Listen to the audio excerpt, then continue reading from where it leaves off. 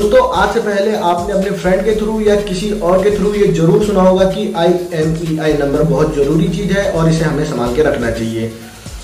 आज की इस वीडियो में आपसे इसी बारे में बात करने वाला हूँ कि आई ई एम आई नंबर क्या होता है, इसका क्या यूज़ है और ये मोबाइल फ़ोन में क्यों दिया गया है और इसे हमें संभाल के क्यों रखना चाहिए। नमस्कार दोस्तों, मैं योगेश वाई के टेक्निकल्स के फ्रेश एपिसोड में फिर से आपका स्वागत करता हूँ। वीडियो शुरू करने से पहले आपसे एक रिक्वेस्ट करना चाहूँगा, अगर आपने अभी तक हमारे चैनल वाई के टेक्निकल्स को सब्सक्राइब नहीं किया है तो प्लीज़ नीचे जाके सब्सक्राइब कर लीजिए और बगल में बेल आइकन को भी प्रेस कर लीजिए, जिससे आपको हमारी नई लेटेस्ट वीडियो का नोटिफिकेशन मिल जाएगा।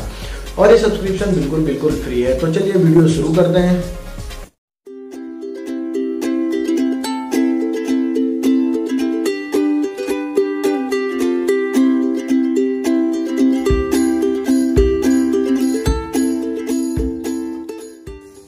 दोस्तों, I M E I number हर किसी फ़ोन की आइडेंटिटी होती है।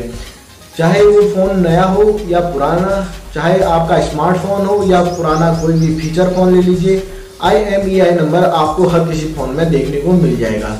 आप फ़ोन की बैटरी निकालते हैं तो फ़ोन के बैक साइड में आपको I M I number printed दिख जाता है। फ़ोन के बॉक्स पे भी ये नंबर होता है और फ़ोन के बिल में भी ये नंबर आपको देखने को मिल जाता है।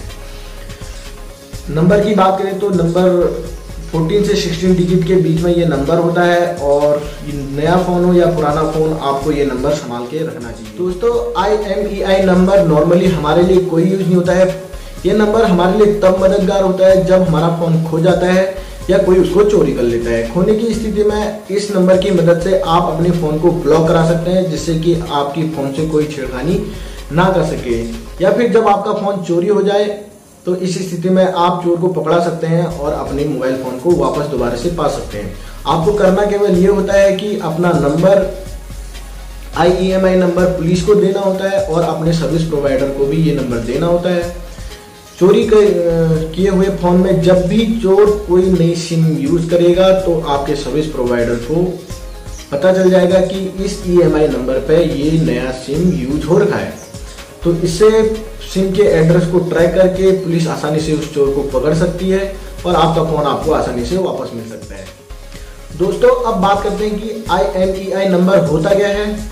आई एम आई नंबर के पहले के कुछ डिजिट आपको ये बताते हैं कि आपका फ़ोन किस कंपनी का है और उसके बाद के कुछ डिजिट आपको ये बताते हैं कि फ़ोन का मॉडल क्या है। उसके बाद के डिजिट सीरियल नंबर होते हैं और लास्ट के कुछ डिजिट पूरी स्ट्रीम को पूरा करने के काम आते हैं और उसको पहचानने के काम आते हैं कि ये नंबर क्या है। इस तरह हर एक फ़ोन दूसरे फ़ोन से अलग नंबर का हो जाता है और हर किसी फ़ोन को ट्रैक करने में आसानी होती है, जिससे कि वो आसानी से पता चल जाए कि आपका फ़ोन कहाँ है।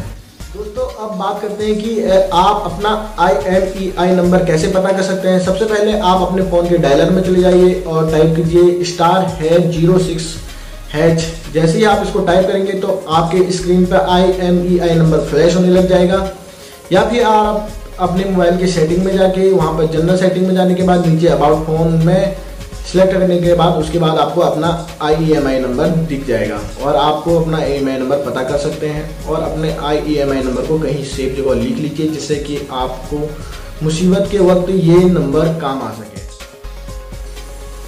दोस्तों, आशा करता हूँ कि आई एम ई आई पे आज की ये मेरी वीडियो आपको पसंद आई होगी। तो पसंद आई है तो लाइक कीजिए और कोई भी आपका सवाल या सुझाव हो तो नीचे कमेंट बॉक्स में कमेंट कीजिए और वीडियो को ज़रूर से शेयर कीजिए। अगर आपने अभी तक हमारे चैनल वाई के टेक्निकल्स को सब्सक्राइब नहीं किया है तो प्लीज़ नीचे जाकर सब्सक्राइब भी कर लीजिए और बगल में बेल आइकन को भी प्रेस कर लीजिए, जिससे आपको हमारी नई लेटेस्ट वीडियो का नोटिफिकेशन मिल जाएगा। वीडियो देखने के लिए आपका बहुत बहुत धन्यवाद।